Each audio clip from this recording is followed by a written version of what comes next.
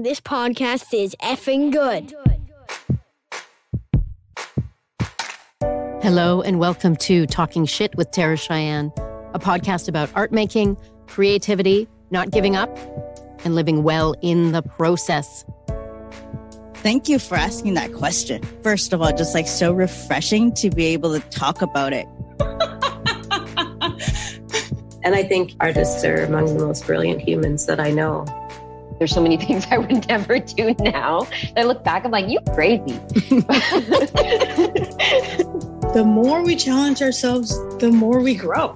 Period. Ready to be surprised. Even if I can just help one person feel better in their body, I'm going to do that work. Amazing. It's so true. You're already changing the world. Oh. We're going straight to the important parts. wow. We're all in this together. Nobody knows everything. Together, we know a lot. I'm your host, Tara Cheyenne Friedenberg, choreographer, actor, dancer, writer. Okay, now what? this podcast contains swear words. It's fucking criminal. Talking shit with Tara Cheyenne.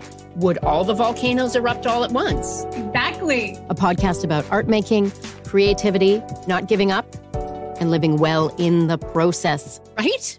Yes.